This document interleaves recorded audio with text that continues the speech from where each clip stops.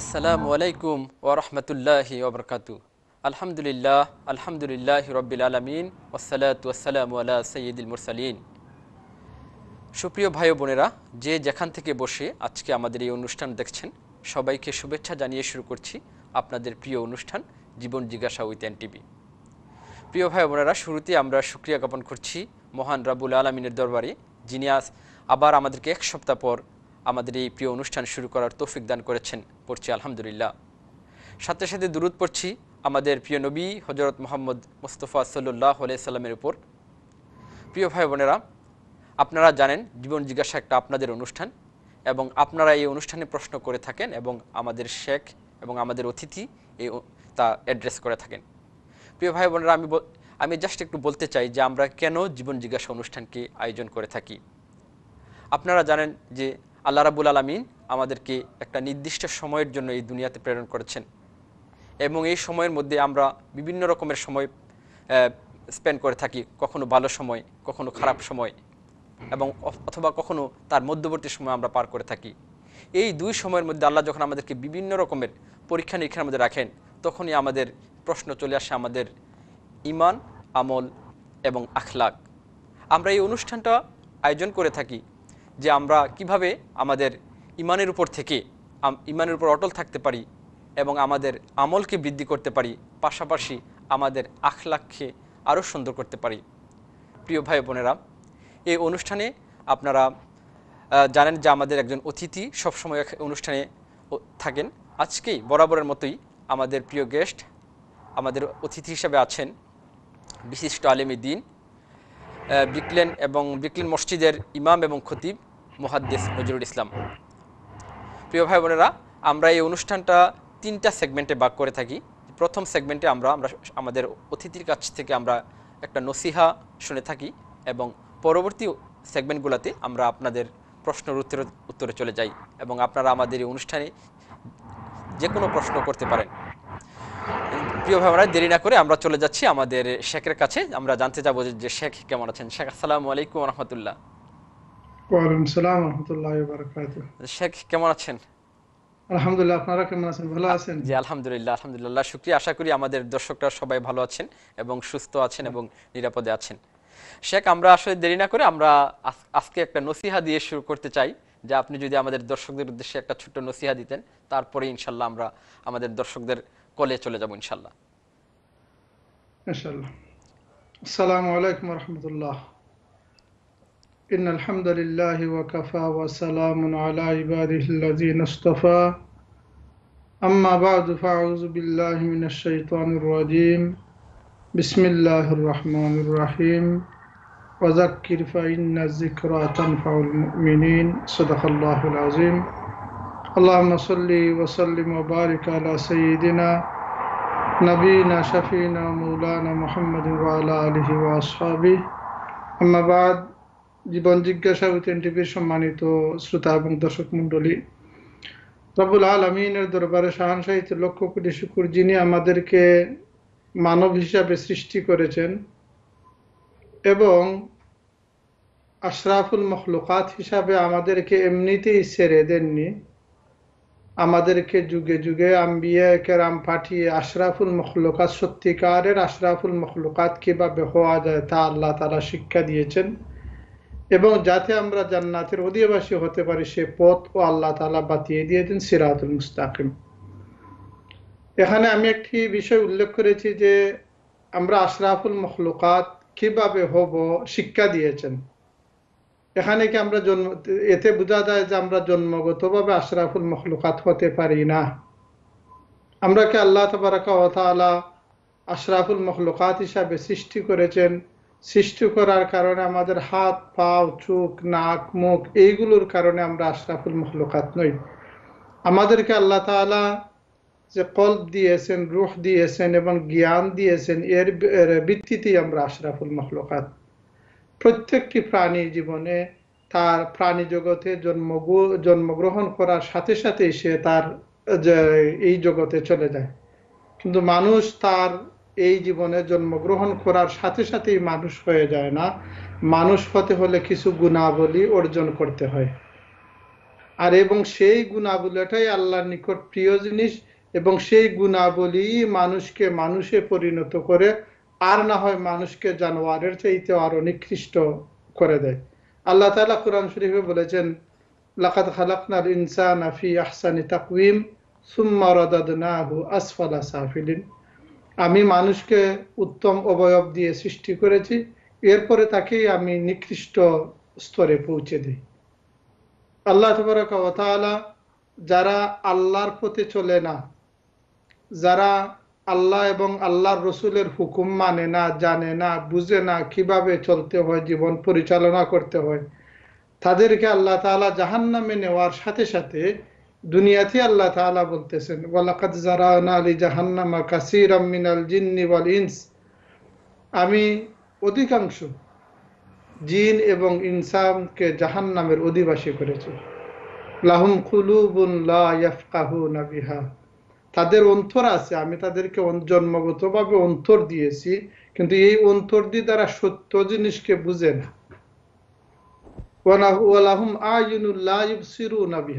তাদেরকে আমি চোখ দিয়েছি, কিন্তু এই চোখ দিয়ে তারা ভালো পথ দেখে না। ওয়ালাহুম আজানুল্লাহ ইয়াসমাউনা বিহা। এবং আমি তাদেরকে কান দিয়েছি, এবং এই কান দিয়ে তারা ভালো কথা শুনে না। উলাইকা কাল আনআমি বাল হুম আদাল, উলাইকা হুমুল জানোয়ার এবং এর চাইতে আরও নিকৃষ্ট এবং এরা হচ্ছে গাফিল, আল্লাহ সম্পর্কে কিছুই জানে না। আল্লাহ তাআলা তার বন্দাদেরকে ইলমে ওহি দিয়ে আসমান থেকে কোরআন নাজিল করে, আসমানি ওহি আম্বিয়ে কেরামকে দিয়ে আল্লাহ তালা জগৎবাসীকে শিক্ষা দিয়েছেন কীভাবে প্রকৃত মানুষ হতে হয়, কীভাবে নেক গুণাবলী অর্জন করতে হয়, কীভাবে জান্নাতের পথের প্রতীক হতে হয়, প্রত্যেকটি মিলিয়ে যত কথা সব কথার শেষ কথা হচ্ছে, একজন মানুষ যখন আল্লাহ এবং আল্লাহ রসুলের শিক্ষা অনুযায়ী তার জীবনকে পরিচালনা করবে, সে তার এই দুনিয়াতে প্রকৃত মানুষ হিসাবে জীবন যাপন করবে এবং আখেরাতে জান্নাতের অধিবাসী হয়ে যাবে। সুতরাং অবশ্যই আমরা সবাই আল্লাহ এবং আল্লাহ রসুলের দিন জানতে হবে এবং উপদেশগুলো মানতে হবে। তৃতীয়ত হচ্ছে আমরা প্রত্যেক মানুষই, মুসলমান বলতে বিশেষত আমরা ইসলামী প্রোগ্রামগুলো যারা আমরা দেখি, সবাই আলহামদুলিল্লাহ ভিন্ন ভিন্ন আলোচনার মাধ্যমে আমরা আমাদের জীবনের প্রত্যেকটি অধ্যায়ে ইসলামকে কীভাবে পালন করব তা আমরা মোটামুটি জানি। এবং ইসলাম হচ্ছে এত সরল এবং সহজ একটি ধর্ম। এর চাইতে সহজ ধর্ম এই দুনিয়াতে আর কোনো কিছু আল্লাহ তালা দেন নাই। আল্লাহ তালা কোরআন শরীফে বলেছেন আলহামদুলিল্লাহ আনজালা আলা আব্দুল কিতাব ওয়ালাম ইয়াজা আল্লাহ ইওয়াজা। সমস্ত প্রশংসা সেই আল্লাহর জন্য যিনি রসুল পাক সাল্লাহ সাল্লামের উপরে কোরআন নাজিল করেছেন এবং এখানে কোনো সংকীর্ণতা আল্লাহ তালা রাখেন নাই। এবং আমাদের ইসলাম হচ্ছে একটি বাস্তব ধর্মী। আমরা হালাল, হারাম সবাই জানি। আমাদের এবাদতগুলো আমরা জানি। যেমন ফাঁস অক্তের নমাজ, রোজা, হজ জাকাত এইগুলো আমরা জানি। এই জানাগুলো আমরা মোটামুটি যদি আমল করি, তাতে আমাদের জীবন সুন্দর জীবন হয়ে যায়। মিথ্যা মাত করা সুগলখুরি করা, খুন, খারাপি করা, জিনা করা, মদ খাওয়া সুদ খাওয়া ঘুষ খাওয়া এই যে বড় বড় মেজর কিছু পাপ রয়েছে এইগুলা সম্পর্কে আমরা সবাই জানি। কিন্তু এই যে জানা, এই জানাগুলার উপর যদি আমরা আমল করি, জানার অর্থ কি? একজন মানুষ যদি তার গাড়ি চালাইতে জানে আর জীবনেও কোনোদিন গাড়ি কিনেও না চালায় না, তার তো তার কোনো ফায়দা হলো না। আমরা সবাই জানি, মুসলিম বলতে আমরা খুঁটিনাটি বা গভীর জিনিসগুলোর জন্য আমরা উলামায় কেরামের দ্বারস্থ হতে হয়। কিন্তু মেইন যে জীবন পরিচালনার যে মেইন বিশেষ কয়েকটি এবাদত এবং হালাল হারাম এইগুলা সম্পর্কে আমরা কিন্তু সবাই জানি। জানার পরে মানা হলো তখন, যখন আপনি জানলেন যে মিথ্যা কথা হারাম, তখন যখন মিথ্যা বলার পরিবেশ যখন আসলো, তখন যখন মিথ্যা বলবেন না, তখন এই জানায় আপনার কাজ দিল। আপনি যখন জানলেন যে সুদ খাওয়া হারাম যখন সুদ খাওয়ার মতো পরিবেশ আসলো, যখন খাইলেন না, তখন তা আপনার জানার সার্থকতা হলো। আপনি যখন জানলেন যে পাঁচ নমাজ পড়া আমার উপর ফরজ, নমাজের টাইম আসে, আসার সাথে সাথে যদি আপনি নমাজগুলা পড়েন, তাহলে জানার সার্থকতা হলো। এইভাবে আমরা আমাদের জীবনের জানা বিষয়গুলো, আল্লাহ তাআলা তো আমাদেরকে বলেছেন ওয়াজাক্কির ফাইন্না জিকরা তানফাউল মুমিনিন। আপনি উপদেশ দেন, নসিহত কর, নসিহত বলতে কি? নসিহত বলতে সেই জিনিসকে বোঝায় যে কোন কাজ করলে আপনার উপকার হবে। সেই কাজ বলে দেওয়ার নাম হচ্ছে নসিহত। এবং নিজের ব্যাপারে নিজের নসিহতের অর্থ হচ্ছে যে যে কাজ করলে আমার বা আমি ভালো মানুষ হতে পারি, মুত্তাকি হতে পারি এবং যে কাজগুলা করলে আমি আমার আল্লাহর নাফরমান বনে যাই, উভয় গুলাকে বাস বিচার করে মন্দ কাজগুলাকে আমার থেকে দূরে সরিয়ে দিয়ে ভালো কাজ করার নামই হচ্ছে মুত্তাকি এবং এটা একজন আরেকজনকে স্মরণ করিয়ে দেওয়ার নামই নসিহত। আমরা আজকে আমাদের এই অনুষ্ঠান থেকে আমাদের সেই নসিহতই আমরা করছি যেগুলো আমাদের জানা। জানা বিষয়গুলোকে স্মরণ রেখে তার বাস্তব ক্ষেত্রে প্রয়োগ করা। যেমন একটু আগে বললাম যে যখন আপনার আরেকজনের ক্ষতি করার কোনো বিষয় আপনার সামনে আসবে, আপনি যদি ক্ষতি না করেন তখন আপনার জানা বিষয় কাজ দিল। ঘুষ খাওয়ার পরিবেশ যখন আপনার নিকট আসলো, তখন আপনি যদি হারাম মনে করে না খান, তাহলে আপনার জানায় কাজ দিল। আপনি যখন সারা বছর পরে আপনার প্রিয় মাল, আপনি জানেন জাকাত আদায় করতে হবে, তখন মালের যে একটি মহব্বত সব মানুষের আছে, এইগুলা যদি আপনি অন্তর থেকে বাহির করে দিয়ে জাকাত আদায় করেন, তাহলে নসিহতে আপনার কাজই দিল। আর না হলে তো আপনার অনেক ওয়াজ, অনেক নসিহত ইসলামী প্রোগ্রাম দেখার পরে আমাদের কাজে আসে না। কেননা আমরা নসিহ, উপস্থিত ক্ষেত্রে এইগুলো আমরা ব্যবহার করি না। সুতরাং ভাই এবং বোনেরা, আমাদের প্রিয় শ্রোতা এবং দর্শক মন্ডলী আমাদের যে বিষয়গুলা জানা আছে, হালাল এবং হারাম, যে বিষয়গুলা জানা আছে আমাদের এবাদত, এই বিষয়গুলো আমরা যদি করি তাহলে এইগুলার দ্বারাই আমরা আমাদের জীবনকে সাকসেসফুল করে নিতে পারি। আমরা সাহাবাহিকেরামের জীবন দেখেন, তাদের সাদা সিধা জীবন ছিল। স্বাভাবিকভাবে দুনিয়ার সব কাজ কারবার করেছেন, কিন্তু অন্যায় কাজ করেন নাই এবং তারা তাদের এবাদতগুলা সময় মতো করেছেন। তার দুনিয়ার সবচাইতে উত্তম মানুষ এবং মুত্তাকি ফরজ গভর্নর তারাও ব্যবসা বাণিজ্য করেছেন, তারাও ফ্যামিলি মেনটেন করেছেন, তারা যুদ্ধ বিগ্রহ করেছেন। সব ক্ষেত্রেই তারা তারা আল্লাহকে মেনে চলেছেন। সুতরাং আমরা খাওয়া, থাকা গুম গুসল এবং আমাদের ব্যবসা, বাণিজ্য সবকিছু যদি আল্লাহকে আমরা মেনে চলি, তাহলে ইনশাল্লাহ আল্লাহ তালা আমাদেরকে মুত্তাকিদের আসনে সমাসীন করবেন এবং আমরা আশা রাখি বর্তমানে যে করোনা পরিস্থিতির কারণে আমাদের বিভিন্নভাবে মানুষ একটু অশান্তিতে রয়েছেন গড় থেকে বাহির হইতে পারতেছে না। এটা তো সবসময় মিডিয়াতে, এখন বর্তমানে মিডিয়ার সবচাইতে বড় এবং প্রধান আলোচনা হচ্ছে এই যে করোনা ভাইরাস এবং লকডাউন পরিস্থিতি আস্তে আস্তে শান্ত হোক। এর ভিতরে আমরা বারবার আপনাদেরকে স্মরণ করিয়ে দিয়েছি যে, মূল্যবান টাইমগুলা নিজে ঘরে বসে আল্লাহ তালার জিকের করুন, কিছু বইপত্র পড়ুন এবং ভালো ভালো অনুষ্ঠানের দেখে আপনার সময়টা পাস করুন। সাবধান, মানুষ যখন অবসর হয় তখন শয়তান তাকে বিভিন্নভাবে দুঃখা দিয়ে থাকে। শয়তানের দুঃখায় পড়ে এবং বেশি অবসরের সময়ে আপনি বিভিন্ন ফিল্ম দেখে অথবা আপনি আপনার নাফরমানি জাতীয় কোনো জিনিস দেখে আপনার সময় ব্যয় করা থেকে নিজেকে বিরত থাকুন। আল্লাহ তালা আমাদের সময়গুলোকে ভালো কাজে ব্যবহার করার তৌফিক দান করুন। এমন এক সময় আমরা মনে করি যে কেবল নামাজ, জিকির, আজকারি হয়তো আপাতত না। দুনিয়ার যে কোনো একটি, আপনার যদি ইতিহাস, দুনিয়ার যে কোনো মানুষের একটি ইতিহাসই যদি আপনি পড়েন, মনে করুন ইন্টারেস্টেড হন অথবা গল্পও পড়েন তবু এটা কোনো বাদ নয়। আপনার কাজ সময়কে একটা আনন্দময় কোনো কাজে লাগানো আমাদের ইসলাম নিষেধ করে না। এবং এটা আল্লাহর নাফরমানি থেকে মুক্ত হলেই কেবল চলবে। সুতরাং যে যে বিষয়ে ইন্টারেস্টেড আছেন, আল্লাহর নাফরমানি মুক্ত আপনার ইন্টারেস্টেড বিষয়ে আপনি সময় ব্যয় করুন। এও আল্লাহ তাহলে আপনাকে মাফ করবেন। সাহাবাহিকেরামকে মাঝে মাঝে তারা খেলাধুলা করতেন স্বাভাবিক যেটা জাইজের ভিতর। এইগুলোও কোনো নিষেধ নয়। এন্টারটেইনমেন্ট টেনমেন্ট মানুষের ইম্পর্টেন্ট বিষয়, আনন্দ করা এবং সাথে সাথে আল্লাহর এবাদত সবসময় এবাদত করা মানুষের জানে খুলায় না। এই জন্য আল্লাহ এবাদত কম দিয়েছেন।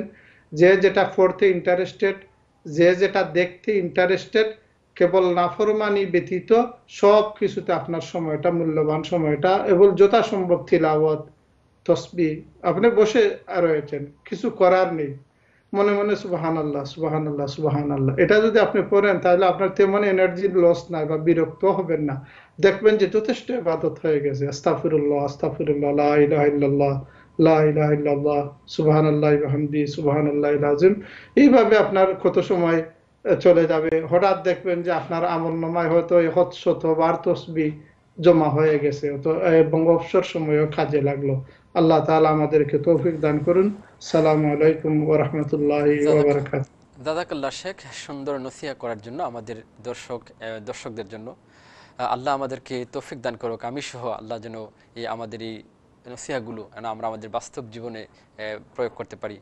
এবং আল্লাহর কাছে আমরা কামনা করছি আল্লাহ যেন আমাদেরকে সকল প্রকার ছোট বড় অন্যায় এবং ছোট বড় গোনা থেকে যেন আমাদেরকে বিরত রাখেন।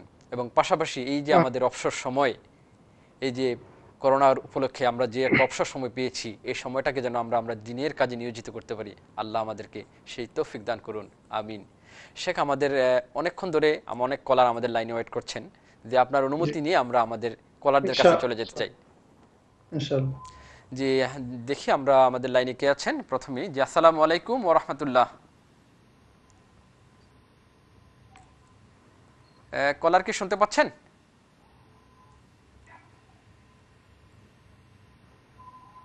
আমরা মনে হয় কলারকে হারিয়ে ফেলছি, যে আমরা দেখি আমরা পরবর্তী কলার কে আছেন। কলার, আসসালামু আলাইকুম রহমতুল্লাহ।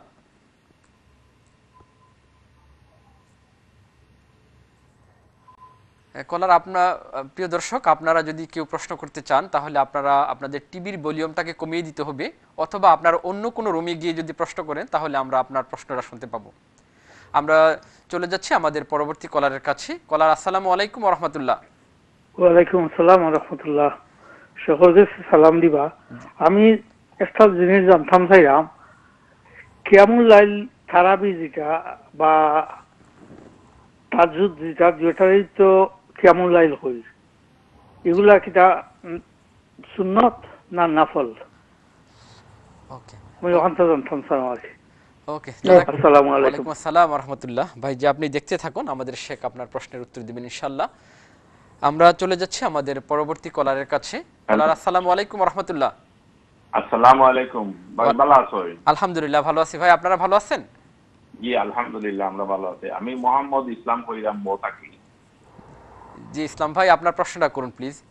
জি আমার দুইটি প্রশ্ন। আমার একটা প্রশ্ন হইল কি যে আমরা দেশে যে হিন্দু সম্প্রদায় আছে তারা হাত বা লিল্লা সাহায্য করা যাইব না যে বিপদতা হয় এক দ্বিতীয় নম্বর হইল কি?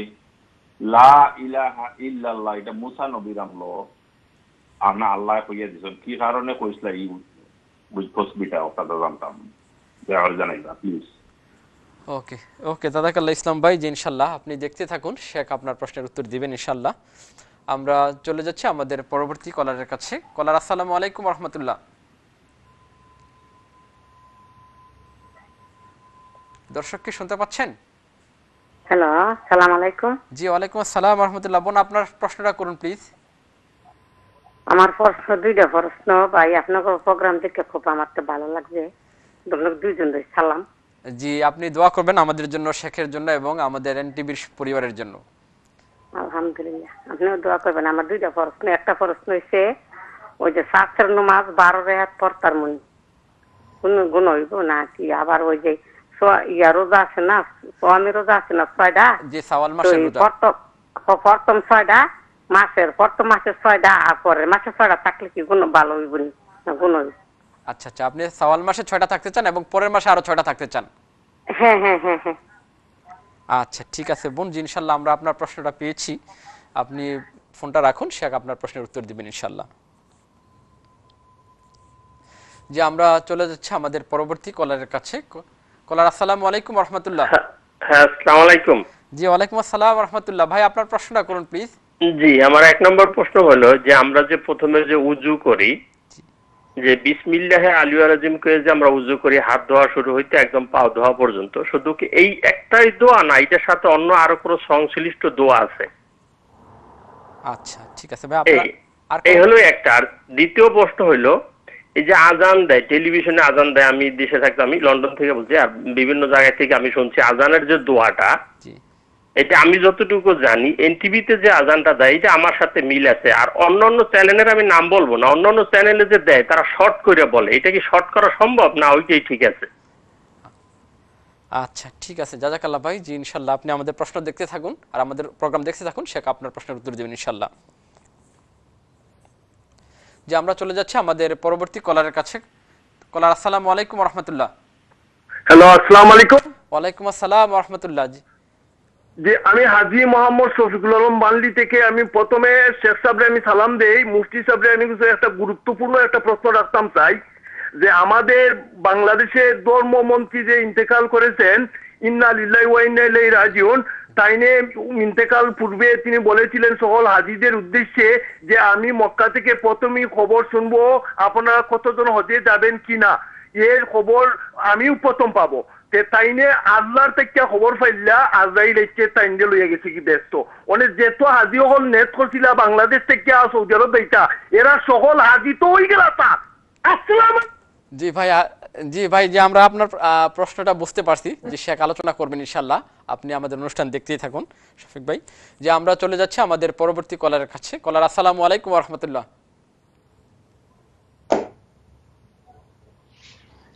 জি, দর্শক কি শুনতে পাচ্ছেন? ওকে জাজাকাল্লাহ শেখ, আমরা আসলে অনেকগুলো প্রশ্ন নিয়ে নিয়েছি। আমরা শেখ আপনার কাছে চলে যাচ্ছি। আপনি ইনশাল্লাহ প্রথমেই শুরুতেই আমাদের এক ভাই প্রশ্ন করেছিলেন, কিয়ামুল লাইল সম্পর্কে। জি। জি ধন্যবাদ আমাদের সম্মানিত উপস্থাপক সাহেবের মাধ্যমে আমরা যে প্রশ্নগুলা পেয়েছি প্রথম ভাই প্রশ্ন করেছিলেন যে খিয়ামুল লাইল নফল না সুন্নত? খিয়ামুল লাইল বলতে রমজান শরীফের খিয়ামুল লাইল বলতে আমরা তারাবিন নামাজ বুঝি এগুলা সুন্নত।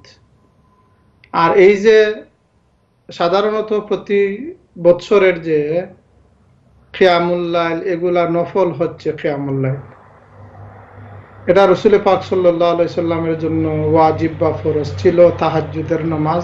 আমাদের জন্য নফল।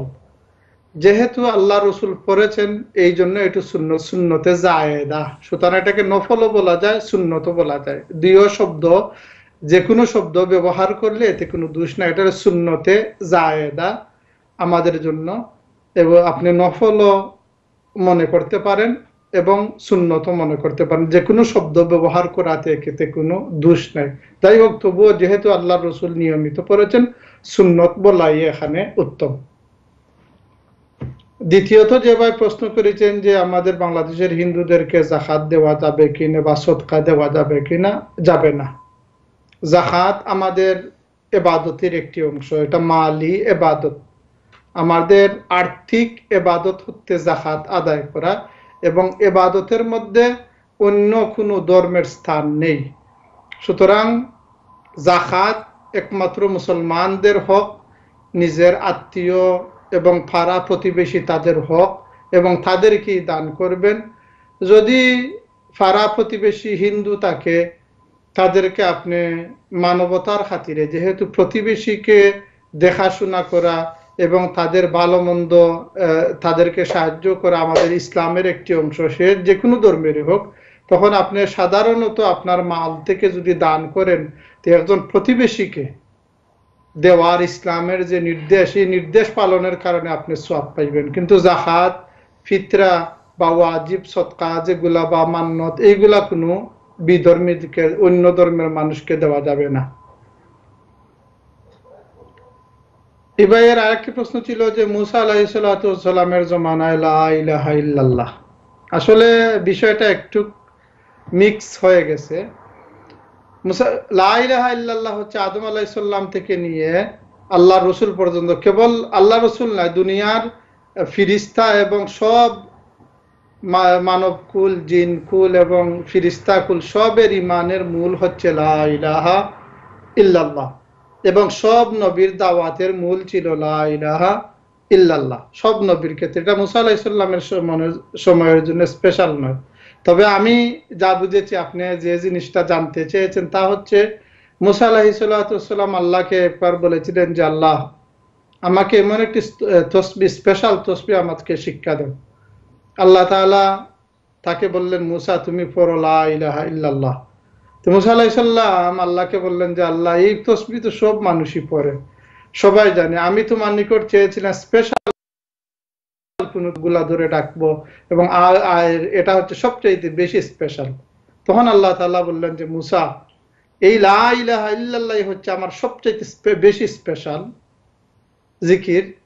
ও এরপরে আল্লাহ বলেন ও মুসা, তুমি যদি সাত আসমান সাহায্য মিনকে পাল্লায় রাখো আর লা ইলাহা ইল্লাল্লাহকে আরেক পাল্লায় রাখো তাহলে লা ইলাহা ইল্লাল্লাহর পাল্লা বাড়ি হবে।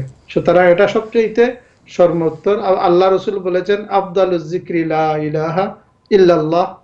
সব সর্বোত্তম জিকির হলো ইলাহা ইল্লাল্লাহ। অন্য হাদিসে আল্লাহ রসুল বলেছেন, জাদ্দিদু ঈমানাকুম বিলা ইলাহা ইল্লাল্লাহ। তোমরা লা ইলাহা ইল্লাল্লাহ করে তোমার তোমাদের ইমানকে আরও নতুন করিও, সুন্দর করিও। তোমরা লা ইলাহা ইল্লাল্লাহ বেশি বেশি করে পড়বে জি দাদাকাল্লা শেখ সুন্দর করে প্রশ্ন বুঝিয়ে দেওয়ার জন্য আমাদের দুইটা প্রশ্ন অলরেডি আনসার দিয়েছেন আরও তিনজন ভাইয়ের প্রশ্ন রয়ে গেছেন যে আমাদের আসলে সময় হয়ে গেছে একটা বিরতির শেখ আমরা বাকি প্রশ্নগুলো বিরতি থেকে এসে দেবো ইনশাল্লাহ। যে প্রিয় ভাই বোনেরা যে আপনারা দেখছিলেন জীবন জিজ্ঞাসা উইতেন টিভি আমরা আমাদের সময় হলো একটা ছোট্ট একটা বিজ্ঞাপন বিরতির। আমরা চলে যাব বিজ্ঞাপন বিরতিতে এবং বিরতির পরে আমরা আবার ফিরে আসব আপনাদের প্রিয় অনুষ্ঠানে। ততক্ষণ পর্যন্ত আমাদের সাথেই থাকুন। আসসালামু আলাইকুম ওরহমতুল্লাহি ওবরকাতু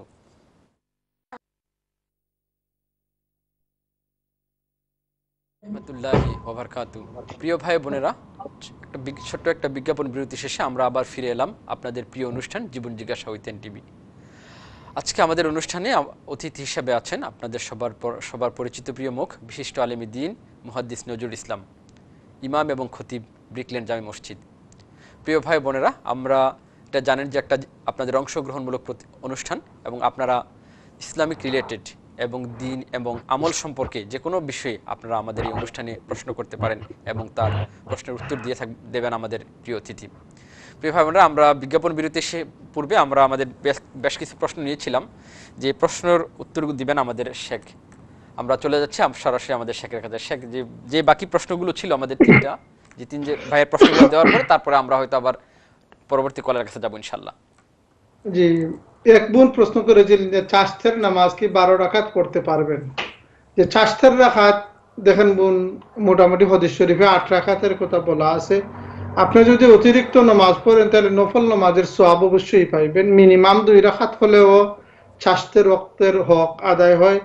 আর আপনি যদি আট রাখাত বা বারো রাখাত পড়েন সব পাইবেন ইনশাল্লাহ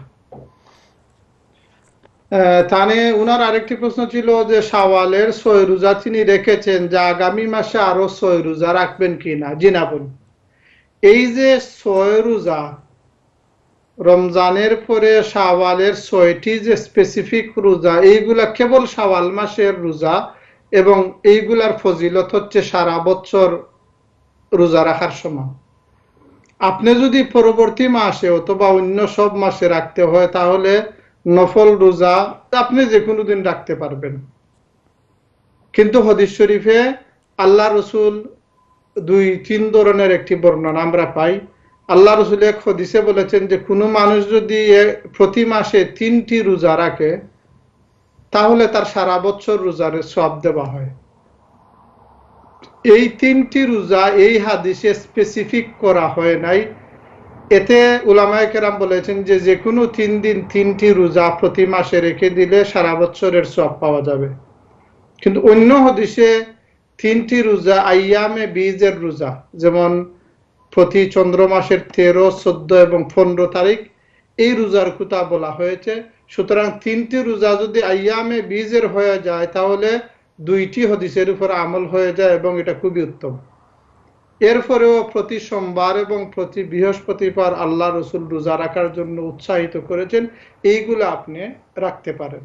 ধন্যবাদ।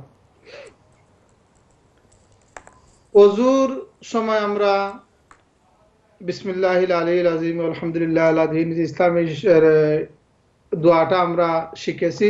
এই দোয়া যদি পড়ে, এটা একটা মিনিংফুল দোয়া। এটা একটা মিনিংফুল দোয়া। এবার অর্থ জানা ভালো হয় এবং জেনে পড়লে আরও ভালো হয়। আমাদের যখন শিক্ষা দেওয়া হতো, অর্থ সহকারে আমরা শিখেছি এটা একটা মিনিংফুল কিন্তু কেবলমাত্র যদি বিসমিল্লাহ রহমানুর রাহিম বলে অজু করে, তাইলে এটাই সুন্নত, আদায় হয়ে যায়। এটা হলো, এটা হইল অতিরিক্ত। বিসমিল্লাহ রহমানুর রাহিম বললে অজু আদায় হয়ে যায়। এবং সাথে সাথে অজুর যখন করবেন, অন্যান্য দোয়াগুলা যেগুলা কিতাব কিতাবে লেখা রয়েছে, এই দোয়াগুলা আপনি অজুর মাঝে মাঝে পড়তে পারেন এগুলো কোনো জরুরি নয়। অজুর মূল কাজ হচ্ছে শূন্য এবং অজুর হাত ধোয়া, মুখ ধোয়া, মাথা মাসা করা এবং পা ধোয়া, এই যে কাজগুলো হচ্ছে ফরজ এবং খুলি করা এবং নাকে পানি দেওয়া আপত্তি অঙ্গ তিনবার করে দেওয়া এগুলো হচ্ছে সুন্নতের অন্তর্ভুক্ত। এই কাজগুলো হচ্ছে অজুয়ের ফাঁকে ফাঁকে যদি আপনি দোয়া করেন যেমন এক হদিস শরীফে রয়েছে যে যে বিসমিল্লাহ পড়ল না, তার অজুই হলো না। এরপরে আল্লাহ রসুল বলেন যে, তোমরা বিসমিল্লা অজুর সময় আমার উপর দুরুদ শরীফ পড়িও। এইগুলো আপনি পড়তে পারেন। এটা হচ্ছে আপনার অতিরিক্ত আমল। আজানের দোয়া সম্পর্কে আমাদের এক ভাই বলেছেন যে আজানের দোয়া, দেখেন আজানের দোয়া সম্পর্কে বিভিন্ন হাদিসে বিভিন্ন রেওয়ায়ত রয়েছে। কোন সাহাবি বিস্তারিত বলেছেন, কোন সাহাবি শর্ট করে বলেছেন। এই জন্য কোনো কোনো দোয়ায় তারা শর্ট যে হাদিসের রেওয়ায়ত, এই রেওয়ায়তটা তারা দিয়ে দেন। আর কোনো কোনো খাতরে সবকিছু মিলিয়ে যে বিস্তারিত যেটা, এটা দিয়ে দেন। এটা প্রত্যেক টিভি চ্যানেল তাদের ইচ্ছা যে কোনো একটা দিলে দোয়া আদায় হয়ে যাবে। তবে বিস্তারিত যেটা দেওয়া হয়, এটা খুবই উত্তম, আমাদের জন্য ভালো। আরেক ভাই, তিনি একটি মন্তব্য, প্রশ্ন নাই এটা মন্তব্য স্বরূপ, যে ধর্মমন্ত্রী মারা গেছেন, যারাই মুসলমান, যে যেখানে মারা যান, আল্লাহ সবাইকে মাফ করে দেন, আমরা দোয়া করি।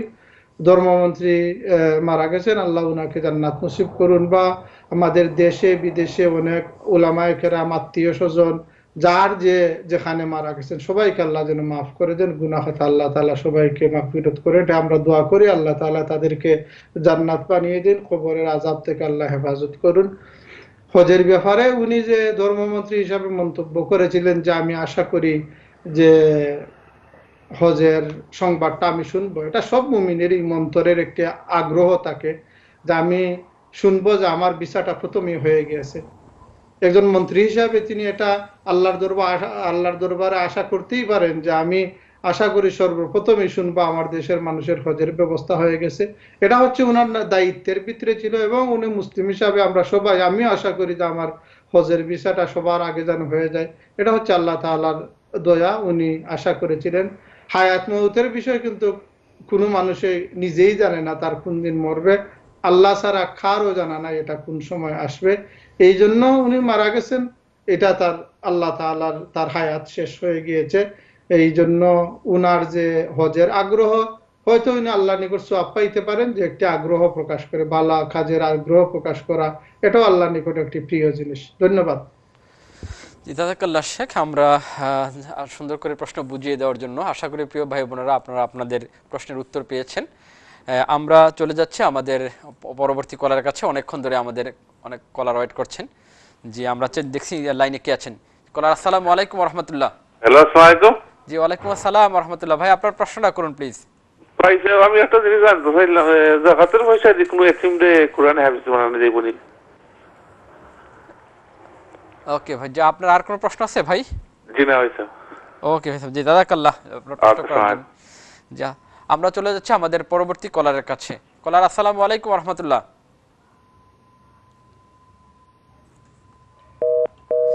সরি আমরা কলারকে হারিয়ে ফেলছি। আমরা দেখি পরবর্তী কলার কে আছেন। দর্শক আসসালামু আলাইকুম। কলার কি শুনতে পাচ্ছেন? হ্যালো জি আসসালামু আলাইকুম রহমতুল্লাহ। বোন আপনার প্রশ্নটা করুন প্লিজ আসসালামু আলাইকুম। আমি স্টুডিওত মতম চাই জি আপনি স্টুডিওতে মাত্রা? আমি তিনটা প্রশ্ন করতাম চাই। ইশরাকর নামাজটা কোন সময় হয়? আর কত সময় থাকে? আর কিলা কিলা নামাজটা জানতাম চাই। আর তোবা কিলা করন ও ও জিনিসটা জানতাম চাই। কিলা কিলা তোবা করুন। আচ্ছা আর কোন প্রশ্ন আছে বোন আপনার? জি না ও ওখানে তো আমি জানতাম চাই ওকে ওকে দাদাকাল্লাহ বোন জি আর কত সময় নামাজের থাকে ও কই কত সময় থাকেন? জি আমরা প্রশ্নটা বুঝতে পেরেছি ইনশাল্লাহ শেখ উত্তর দিবেন। আপনি আমাদের অনুষ্ঠান দেখতেই থাকুন। যে আমরা চলে যাচ্ছি আমাদের পরবর্তী কলারের কাছে। কলার আসসালামু আলাইকুম রহমতুল্লাহ কলার কি শুনতে পাচ্ছেন? আসসালামু আলাইকুম। ওয়ালাইকুম আসসালাম রহমতুল্লাহ। জি ভাই, আপনার প্রশ্নটা করুন প্লিজ আমার দুইটা প্রশ্ন। আমরা যখন নামাজ পড়ি সূরা যখন পড়ি, সূরার সময় যে কোনো ভুল হয়ে আর একটা সূরা পড়িলাই বাদে দোয়া না ও সূরা পড়লে নামাজ পুরো হয়ে গিয়া। আর দুই নম্বর প্রশ্ন যে আমরা যে পড়ার বাদে যখন আমরা রুকু, সেজদা করি আর বা যখন খাড়ই আলহামদুলিল্লাহ সূরা পড়ি, এর আগে বিসমিল্লাহ পড়া লাগবনি না গল ফল্লাহ বিসমিল্লাহ পড়িলে হয়ে যাবে গিয়া। তিন নম্বর প্রশ্ন মনে রাখা আগে জানা প্রশ্ন হলো মন্ত্রী সম্বন্ধে। ওটা লোকে আমি একটা লাগাই আর একটা প্রশ্ন করতাম আর বাংলাদেশ আরও মন্ত্রী যেমন মারা গেছে স্বাস্থ্যমন্ত্রী এর লোকে অনেক কমেন্ট করছে মানছে। এই ধরনের যে মানুষের ক্ষমতা সত্ত্বে পয়সা মারে বা কোনো কিছু করে এই ধরনের মানুষের আল্লাহ দিবা এই ধরনের মানুষের আল্লাহ কেটে হারবা মাফ করবানি আর মানুষদের কমেন্ট করে মনে এই ধরনের কমেন্ট করা ঠিক আছে নি।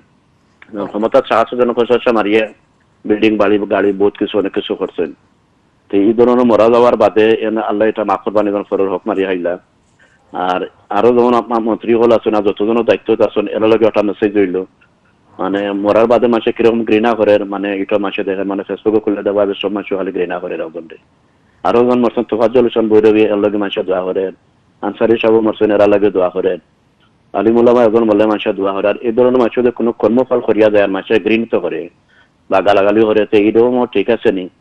আর যেন এগুলা করিয়া গেলা এনে আল্লাহ গেছে গিয়া কীরকম মাপ পাইবা? ওটা যদি হুজুরে বালা করে সুন্দর করে কইয়া যে যারা মানুষ আছে দুনিয়া দায়িত্বশীল এরা লগে একটা মেসেজ দিবা সুন্দর করে খেলা দুনিয়াতে কর্মফল করিয়া দেওয়া। ইনশাল্লাহ আপনারা ভালো থাকবে জি জি ভাই আপনিও ভালো থাকবেন ইনশাল্লাহ জাজাকাল্লাহ সুন্দর প্রশ্ন করার জন্য। আসলে আপনার আশা করি আপনার প্রশ্নের মাধ্যমে আমাদের অনেক ভাই উপকার হবেন কারণ আসলে এই রিসেন্টলি আমাদের বাংলাদেশে যে কিছু ঘটনা হচ্ছে এটা সোশ্যাল মিডিয়াতে ব্যাপক ভাইরাল হচ্ছে এবং কেউ পক্ষে কেউ বিপক্ষে। যে আশা করি শেখ সুন্দর করে আপনার প্রশ্নের উত্তর দিবেন ইনশাল্লাহ যে আমরা চলে যাচ্ছি আমাদের পরবর্তী কলারের কাছে। কলার আসসালামু আলাইকুম রহমতুল্লাহ। ওয়ালাইকুম আসসালাম। জি ভাই জি ভাই আপনার প্রশ্নটা করুন প্লিজ। হ্যালো আচ্ছা আমি একটা প্রশ্ন আপনার। আমি বয়স্ক মানুষ। আমারে আপনার আমার দুইও পাও ফুলি ফুলি যায় আমারে আপনার ঠাইট মোজা দিছে ভরবা লাগি। হ্যালো জি শুনতে পাচ্ছি ভাই আপনি প্রশ্ন করুন প্লিজ মোজা আমার দিছে ভরবা লাগে আর। মোজা পরতে খুব কষ্ট লাগে কষ্ট দুইজন না হইলে পরা যায় না। কিন্তু এই মোজা রাখতে আমি যে অজু করতাম আমার খুলতেও সুবিধা হয় মোজা রাখতে আমার অজু হইব নি। ওকে জাজাকাল্লাহ ভাই জি ইনশাল্লাহ আপনার প্রশ্নের উত্তর আপনার প্রশ্ন পেয়েছি আমরা শেখ উত্তর দিবেন। আল্লাহ আমরা আল্লাহর কাছে দোয়া করি আল্লাহর জন্য আপনাকে শিফা দান করেন এবং আল্লাহ শেখ আপনার প্রশ্নের উত্তর দিবেন ইনশাল্লাহ। জি আমরা চলে যাচ্ছি আমাদের পরবর্তী কলারের কাছে। কলার আসসালামু আলাইকুম রহমতুল্লাহ হ্যালো। জি আসসালামু আলাইকুম। আসসালামু আলাইকুম। আমার দুইটা প্রশ্ন। একটা প্রশ্ন হইল আমার হাজবেন্ড মারা গেলে চার মাস দশ দিন যে ইদ্যত তখন এর ফজিলতটা কিটা? আর আমি হ্যালো? জি শুনতে পাচ্ছি আপনি করুন। আর একটা প্রশ্ন হইল আমি কোরআন শরীফ পড়ি আমরা যারা নামাজ পড়ি ওলা তো এর যে কোনো গুণ হইব না? জি ঠিক আছে বোন জি ইনশাল্লাহ। আপনি আমাদের অনুষ্ঠান দেখতে থাকুন শেখ আপনার প্রশ্নের উত্তর দিবেন ইনশাল্লাহ। দুই নম্বর প্রশ্ন কি ছিল? বোন আপনি কি লাইনে আছেন? আছে। জি আপনার দুই নম্বর প্রশ্নটা একটু কাইন্ডলি বলেন। আমি কোরআন শরীফ পড়ি আস্তে আস্তে আমরা যারা নামাজ পড়ি ওলা হান এর কোনো গুণ হইব না। ওকে আচ্ছা ঠিক আছে জি ইনশাল্লাহ জি আমরা চলে যাচ্ছি আমাদের পরবর্তী কলারের কাছে। কলার আসসালামু আলাইকুম রহমতুল্লাহ। ওয়ালাইকুম সালাম আসসালামু আলাইকুম।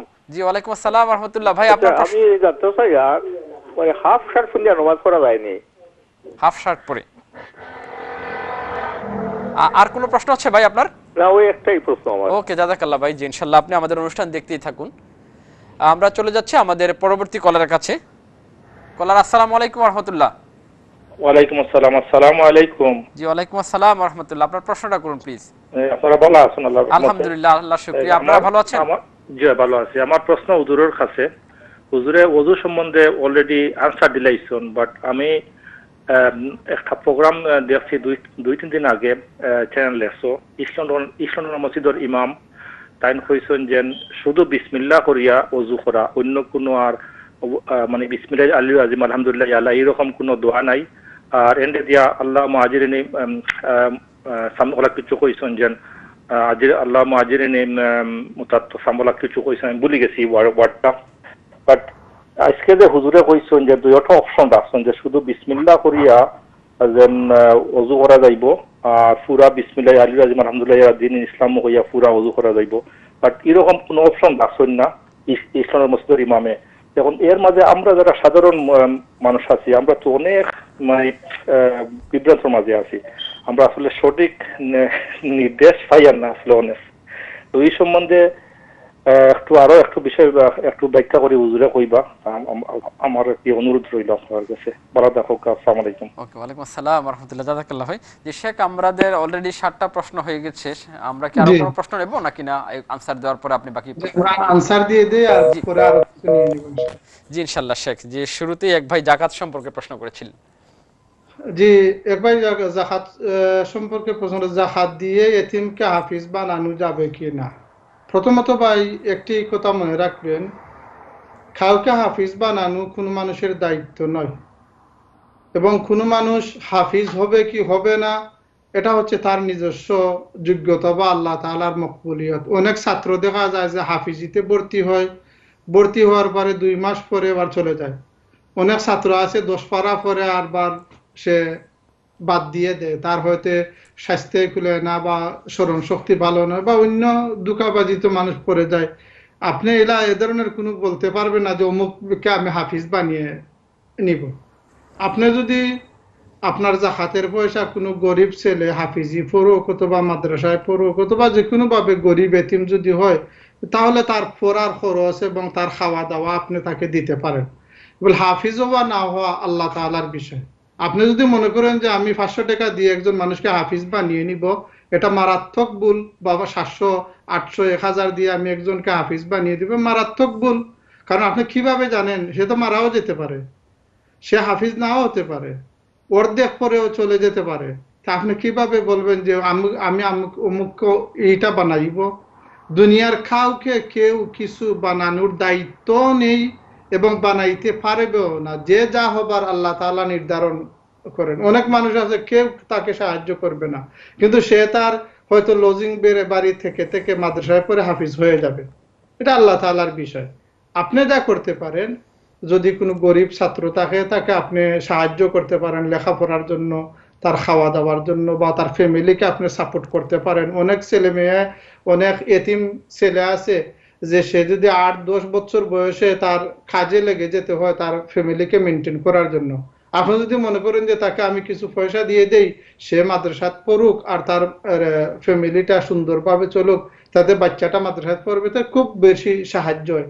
এই ধরনের সুন্দর করে নিজে দেখে বুঝে সাহায্য করাটা ভালো। কিন্তু আপনি কাউকে জাহাত এমনি দিয়ে দিবেন যে, এইভাবে এত জাহাত দিয়ে সে হাফিজ হয়ে যাবে, এটা কোনোদিন হয় না ভাই। আপনি মনে করুন একজন মানুষকে জাকাত দিলেন, যে আমি জাকাত দিলাম, সে ধনী হয়ে যাবে। সে কিন্তু ধনী হতে পারবে না, আল্লাহ যদি তাকে ধনী না বানান। আপনার দায়িত্ব হচ্ছে গরিব দেখে তাকে জাকাত দিয়ে দেওয়া। ধন্যবাদ। ইশরাকের নামাজের ওয়াক্তবন সূর্য উদয়ের পরে তেইশ মিনিট মকরু অক্ত থাকে।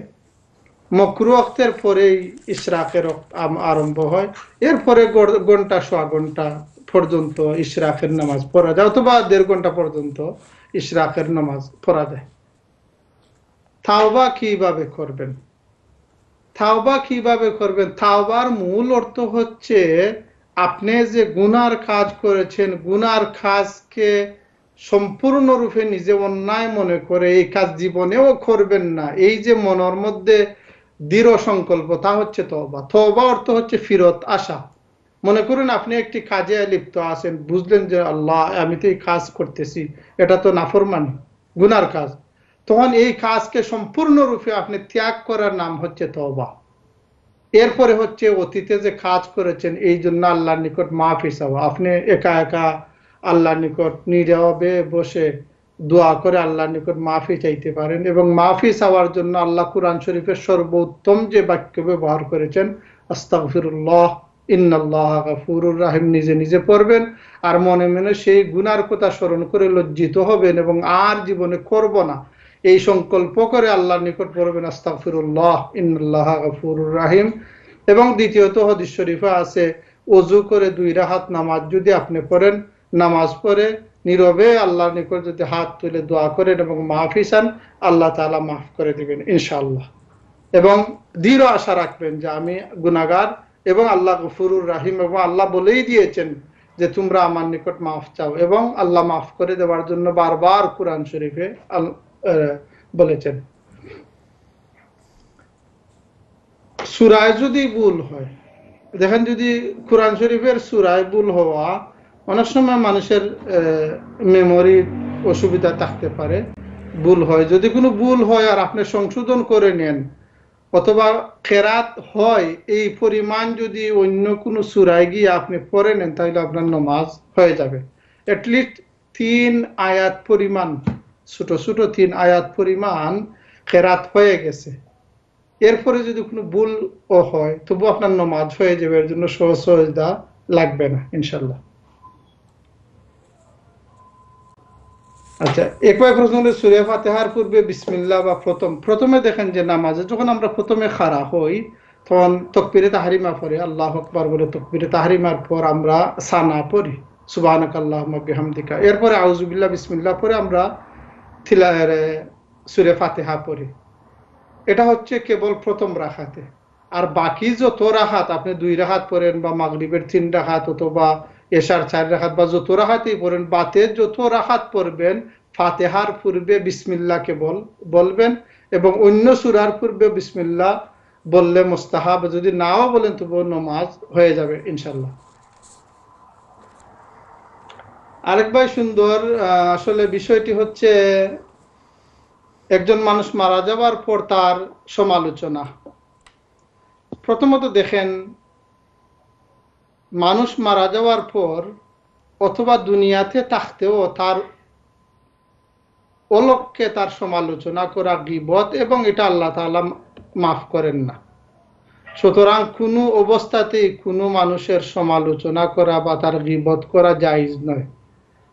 অনেক সময় আছে জীবিত মানুষের গিবত করলে তার নিকট থেকে মাহফিল হওয়া যায়। কিন্তু মৃত মানুষের যদি আপনি গিবত করেন, তাহলে তার মাহফিল হওয়ার কোনো অবস্থা নেই। আল্লাহ রসুল হদিস শরীফে বলেছেন উজকুরু মাউতাকুম বি আহসানি আমালিহিম। তোমরা মৃতদেরকে তোমরা স্মরণ করো, তাদের উত্তম আমলের মাধ্যমে। যেমন উনিটা ভালো ছিলেন, নমাজ পড়েছেন, এইগুলা দিয়ে। মন্দ জিনিস আলোচনা করার কোনো প্রয়োজন নেই। এরপর আমরা দুইটি বিষয় আমরা আলোচনা করতে চাই। প্রথমত দেখেন যে বন্দা দুই ধরনের অন্যায় জীবনে করতে পারে। অন্যায় না করাই ভালো, আমরা চাই আল্লাহ তালা দুনিয়ার সব মুমিন, মুসলমান যেন কোনো অন্যায় জড়িত না হয় একটি হচ্ছে বন্দার হক, আরেকটি হচ্ছে আল্লাহর হক। আল্লাহর হক যেমন আল্লাহর এবাদতে গাফলতি করা, না করা, অথবা আল্লাহর কোনো গুনার কাজ করা, এইগুলা আল্লাহ তাআলা তার বন্দাকে যখন ইচ্ছা মাফ করে দিতে পারেন। আরেকটি হচ্ছে বন্দার হক যেমন অন্যের দুই টাকা আপনি আমরা ঠোকাঠকি করে খেয়েছেন, অথবা সরকারি তহবিল তসরুফ করেছেন, অথবা অন্যায়ভাবে অন্যের মালকে আপনি আত্মসাত করেছেন। এই যে বন্দার হকগুলা এটা আল্লাহ তালা মুঠেই মাফ করেন না। সুতরাং এই ব্যাপারে গভীর সতর্ক থাকতে হবে। এবং এই ব্যাপারে কিয়ামতের দিন আল্লাহ তাআলা তার বন্দাকে অবশ্যই বন্দাদের সম্মুখীন করবেন এবং তাদেরকে তার সব নেকি দিবেন ও আর না হয় তাদের সব গুনার মালিক তাকে বানিয়ে দিবেন। এটা কত বড় মারাত্মক অন্যায়। যেমন কোনো সরকারি দায়িত্বশীল হয়ে মানুষের বা জনগণের মাল আত্মসাৎ করা, অথবা বেসরকারি হয়ে, বেসরকারিভাবেও বা ব্যক্তিগতভাবেও, বা এমনি ওই একজনের পাঁচ টাকা, দশ টাকা, একশো টাকা, একশো পাউন্ড দুইশো টাকা, এই মারা সব কিছু মারাত্মক অন্যায়, এগুলো বন্দার হোক, আল্লাহ কোনোদিন মাফ করেন না। সুতরাং সরকারি দায় দায়িত্বশীল হোক, অথবা অন্য কোনো মানুষ হোক, এই ক্ষেত্রে আমরা দুইটি বিষয় আলোচনা করতে চাই। একটি বিষয় হচ্ছে, কোনো মানুষ যদি প্রকাশ্যে এমন কোনো অন্যায় করে যে অন্যায়ের প্রতিরোধ করা কোনো মানুষের ক্ষমতা ছিল না বা এই অন্যায়টা এত মারাত্মক যে এই অন্যায় যদি বাদের মানুষ করে ক্ষতিগ্রস্ত হয়, এইগুলা মানুষকে বুঝিয়ে দেওয়া যে মানুষ দেখো, যে যতই অন্যায় করুক না কেন, যে যতই সম্পদ জমা করুক না কেন, একদিন তাকে মাটির নিচে গিয়ে একা একা থাকতে হবে, এই সম্পদ কোনো কাজে আসবে না এই শিক্ষা নিয়ে দুনিয়ার সব মানুষ বুঝতে পারে যে আমি কেন এইসব করব। আরেকটি দিক আমরা আলোচনা করতে চাই যে আমরা অনেক সময় অন্যের দোষটাকে সুন্দর করে, বড় করে দেখি নিজের দোষ দেখি না। যেমন যারা একজন মানুষ মারা যাওয়ার পরে বলতেছেন যে উনি এই করেছেন, সেই করেছেন, অন্যের টাকা লুট করেছেন, সরকারি মাল খেয়েছেন অথবা অন্যকে ঠকিয়েছেন। হয়তো আমিও অন্যের এক টাকা, দুই টাকা, দশ টাকা অথবা গ্রামের পঞ্চায়েতের কিনো টাকা অথবা অন্য মানুষের ব্যবসায়ের টাকা সেই টাকা, অথবা একসাথে ব্যবসা করেছি, অন্য মানুষের সেই টাকা আমি মেরে ফেলেছি। কিন্তু আমরা নিজেরই দিক দিয়ে, আমরা মনে করি আমি তো মাত্র দশ হাজার পাউন্ড মেরেছি অথবা একশো পাউন্ড মেরেছি, আমার কিছুই হবে না। যারা এক কোটি মেরেছে হয়তো তারাই কেবল জাহান নামে যাইবে। আর তার এক কোটির হিসাব নিতে নিতে হয়তো আল্লাহ তালা আমার এক হাজার বা একশো পাউন্ডের হয়তো জাহাত নিবেন হিসাব নিবেন না। এই মারাত্মক দুকায়ও কিন্তু আমরা এক শ্রেণির মানুষ আছি যে নিজে যে আমরা অন্যকে টোকাটুকি করি। নিজে যে একশো পাউন্ডই ঠকি, নিজে কাজে গিয়ে ফাঁকি দিয়ে যে আমি আমার বেতন আনতেছি, অথবা দায় দায়িত্ব পালন না করে যে বেতন নিতেছি, অথবা ব্যবসা, ব্যবসায় যে আমি সামান্যতম কাস্টমার হোক অথবা অন্য কেউ ঠকিয়েছে আমি নিজেরই ঠিক আমি দেখি না। অন্যের বড়টা আমি দেখি। মনে রাখবেন ভাই, আমি উপদেশ দিচ্ছি, অন্য যদি এক কোটি বা দেড়শো কোটি টাকা যদি আত্মসাৎ করে বন্দার হক, আল্লাহ যেভাবে মাফ করেন না আপনি যদি কোনো মানুষের দশটা টাকা আত্মসাৎ করেন, তাহলে এইটাও বন্দার হক আল্লাহ মাফ করবেন না। আমরা অনেক মানুষকে দেখেছি যে, এই ফতিত জায়গা পঞ্চায়েতের জায়গা, সরকারি জায়গা, এগুলোকে তারা জবরদখল করে নিজে খাইতেছেন। কিন্তু অন্যের ব্যাপারে তিনি বড় বড় মাছ যে, কিতা? এটা কিন্তু আমি বলছি কেন যে, নিজে বাঁচার জন্য। আমি দেখুন, অন্য মরেছে। অন্য মানুষ জাহান নামে গেছে। যাক, না আমরা চাই না কোনো মানুষ জাহান নামে যাই তো আল্লাহ তাকে মাফ করুক। কিন্তু সবচেয়ে বড় জিনিস তো আমাকে তো দেখতে হবে যে আমি জাহান নামে যেন না যাই। অন্য মানুষ যখন অন্যায় করে, অন্যায় করার পর যখন আমি বড় করে দেখি, তখন আমি সতর্ক হওয়া উচিত। সাবধান, আমিও মরলে মানুষ আমাকে এই ধরনের সমালোচনা করবে। মানুষ সমালোচনা করুক অথবা না করুক, তাতেও কিছু আসে যায় না। আল্লাহ তো আমার হিসাব নেবেন। এটা যেন আমাদের সব মুসলমান ভাইদের অন্তরে থাকে। আমরা আল্লাহর দুবার দোয়া করি, আল্লাহ সবাইকে হেদায়ত দান করুন। জি দাদাকাল্লাহ শেখ সুন্দর করে এই ভাইয়ের প্রশ্নটা বুঝিয়ে দেওয়ার জন্য। আমরা সব আল্লাহর কাছে দোয়া করি, আল্লাহ যেন আমাদেরকেও এই ধরনের ফিতনা এবং মানুষকে মানুষের যে অন্যায় করা এবং মানুষের অন্যায় মাল বক্ষণ করা অথবা অন্যভাবে কোনো আত্মসাৎ করা থেকে আল্লাহ যেন আমাদেরকে হেফাজত করেন। আমিন। জাজাকাল্লাহ শেখ আমাদের সময় হয়েছে একটা বিরতির। আমরা এখন বিরতিতে চলে যাচ্ছি এবং বিরতি থেকে এসে আমরা আমাদের পরবর্তী আনসারগুলো দেবো ইনশাল্লাহ যে প্রিয় ভাই ও বোনেরা সময় হলো একটা বিরতির। আমরা চলে যাচ্ছি আমাদের বিরতিতে এবং বিরতি থেকে এসেই আমাদের বাকি প্রশ্ন আনসার আমাদের অতিথি দিবেন ইনশাল্লাহ যে ততক্ষণ পর্যন্ত আপনারা আমাদের সাথেই থাকুন।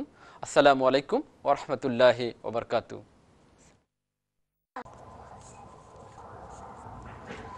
আসসালামু আলাইকুম ওরহমতুল্লাহি ওবরকাতু প্রিয় ভাই বোনেরা, বিজ্ঞাপন বিরতি শেষে আমরা আবার ফিরে এলাম আপনাদের প্রিয় অনুষ্ঠান জীবন জিজ্ঞাসা হইতেন টিভি আমরা দেখতে দেখতে আমাদের লাস্ট সেগমেন্টে আমরা এসেছি। এই সেগমেন্টের পরে ইনশাল্লাহ আমরা আমাদের প্রোগ্রাম শেষ করব এবং আমরা মাগরিবের নামাজের আগেই আমাদের প্রোগ্রাম শেষ করব ইনশাল্লাহ আমরা ছিলাম আমাদের প্রশ্ন উত্তর পর্বে। শেখ, আমরা, আমাদের কিছু প্রশ্ন বাকি ছিল যে কাইন্ডলি যদি আমাদের লাস্ট যে এক বোন প্রশ্ন করেছে এক ভাই প্রশ্ন করেছিলেন পা ফুলে যাওয়া সম্পর্কে এবং যে টাইট মোজা পরে এই ব্যাপারে। যে জনাব প্রথমে আমরা দোয়া করি আল্লাহ তালা আপনাকে সুস্থ রাখুন এবং নমাজ পড়ার তৌফিক দান করুন। আমরা আমাদের দেখেন যে আল্লাহ এত সহজ শরীয়ত দিয়েছেন। আপনি যে মোজা পরেন অবশ্যই আমরা জানি এই মোজাটা পরা এবং খোলা খুব বেশি কষ্টের বিষয়। এই জন্য আপনি, আমরা জানি না এই মোজাটা আপনি কতখান পরেন কাউকে আমরা দেখি যে গন্ডা পর্যন্ত দেয়, কাউকে হাঁটু পর্যন্ত বা কাউকে পায়ের পাতা পর্যন্ত, আমরা জানি না। তা আমার পরামর্শ হচ্ছে, আপনি একটি বাজারে কিনতে মিলে সামরার একটি মোজা খরিদ করে নেবেন। এবং প্রতিদিন সকালে যখন আপনি অজু করেন, তখন অজু করার সময় তো পাও দৌত করে একবার আপনি আপনার সেই মোজা এবং চামড়ার মোজাটা আপনি পরে ফেলবেন। এরপরে এই দিনের ভিতর চব্বিশ ঘণ্টা যত অজু করেন, যত নমাজ আসবে, সব নমাজের জন্য আপনাকে আর পাও দৌত করতে হবে না। আপনি অজুর সবকিছু করার পর পায়ের উপরে এই যে তিন আঙ্গুল দিয়ে একটি মাসেহ করে নিলে আপনার অজু আদায় হয়ে যাবে। আপনার জন্য আর পাও দুইতে হবে না। এটা সহজ এবং আল্লাহ তাআলা বেমারি মানুষ বা যারা অসুবিধা তাদের জন্য আল্লাহ এই সুযোগ আমাদের শরীয়তে দিয়েছেন। আমি মনে করি এটাই আপনি করে নেবেন। তাহলে সারাদিন আর কোনো অজুর জন্য আপনাকে পাও দুইতে হবে না, মুজাও খোলা লাগবে না। ধন্যবাদ। স্বামী স্বামী মারা যাওয়ার পর ষাট মাস, দশ দিন, এটা হচ্ছে আল্লাহ তাআলার নির্দেশ ইদ্যত পালন করা। এটা হচ্ছে ফরজ। আল্লাহ তালা কোরআন শরীফে বলেছেন যে তোমাদের যখন স্বামী মারা যায় তাহলে তার চার মাস, দশ দিন স্ত্রীর জন্য ইদ্যত পালন করতে হবে। অবশ্যই তার ইনে মানতে হবে। তা আল্লাহর কোরআনের নির্দেশ। আরেক বোন প্রশ্ন করে যে নামাজের মতো আপনি কোরআন পড়া। অসুবিধা নেই, নামাজের মতো তো পড়বেনি কোরআন। এখানে দুইটি অর্থ হতে পারে, যেমন নামাজে যেভাবে ধীরে ধীরে পড়েন, ধীরে ধীরে করা যেমন নামাজে যখন আমরা, যেমন জোহর, আসর, এইগুলাতে আমরা এই অনুচ্চ স্বরে পড়ি, কিন্তু আপনি উচ্চারণ করতে হবে। আপনি যদি ঠুটমুখ না লেরে জিব্বা না লেরে যদি আপনি মনে মনে কেবল চান আর মনে মনে পড়েন, তাহলে তিলাওয়াত হবে না। কারণ কোরআন শরীফ তিলাওয়াতের জন্য যেমন বা, তা, জিম, হা, কাফ বলতে সময় আপনার এক একটা মখরস থেকে আদায় করতে হয়। আপনি যদি আওয়াজ না দিয়ে আন আওয়াজেও পড়েন, তাহলে আদায় হবে এবং সোয়াবও পরিপূর্ণ পাইবেন ইনশাল্লাহ আরেক ভাই প্রশ্ন করেছেন যে, হাফ শার্ট পরে নামাজ পড়া হবে কিনা? ভাই, নামাজের সুন্নত কাফরের একটি নিয়ম আছে, আপনি কবজি পর্যন্ত যদি পারেন তাহলে ঠিক আছে। না হলে যদি আপনি কাজে আছেন অথবা গাফলতি ছাড়া যদি হয় তাহলে তো আপনার হাফ শার্ট না গেঞ্জি দিয়ে অনেক সময় নামাজ হয় যদি কাপড় না থাকে। অথবা ওখানে কাজে গেছেন, এখন আর কিছু খাইতেছেন না হাফ শার্ট দিয়ে নামাজ হবে। নামাজ হওয়াতে কোনো অসুবিধা নেই। কিন্তু ভালো হলো সুন্নত, যদি আপনি গড়ে থাকেন বা সুযোগ থাকে, তাহলে সুন্নতের উল্টা না করাই ভালো। আরেক ভাই যে অজু সম্পর্কে প্রশ্ন করেছেন যেখানে ভাই, আমাদের এবাদতির মধ্যে সবের, সব বিষয়ে কিছু জিনিস আছে সুন্নত, এতটুকু করতে হয়।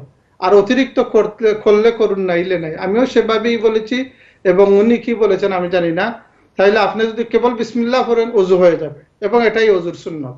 এবং সেটা হচ্ছে অতিরিক্ত একটি দোয়া মিনিংফুল এবং এটা জেনে আপনি পড়া। নামাজের অজুর পরে কোনো মানুষ তার দোয়া করলে দোয়া কবুল হবে। কিন্তু অজুর পরে সুন্নত হচ্ছে, আপনি আসাদু আল্লাহ হাদিস শরীফে এসে শাহাদত পড়বেন। আল্লাহ এরপরে